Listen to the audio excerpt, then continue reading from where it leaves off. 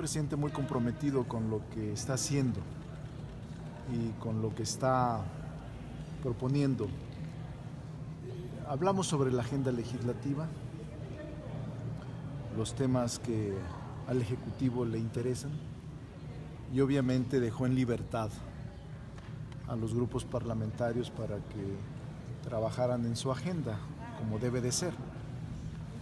Pero él planteó fundamentalmente, diría, cinco temas. Le interesa que concluya el proceso legislativo de la ley de amnistía para intentar corregir injusticias contra algunos que injustamente están detenidos o procesados o sentenciados.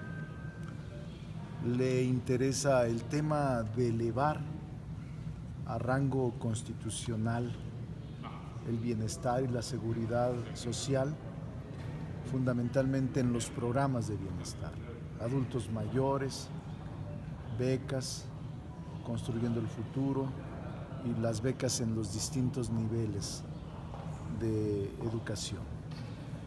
Eso lo enfatizó para que se elevara y se estableciera en el cuarto constitucional el derecho de todos los mexicanos y que agregaran el que no podía disminuir el presupuesto, sino aumentarse.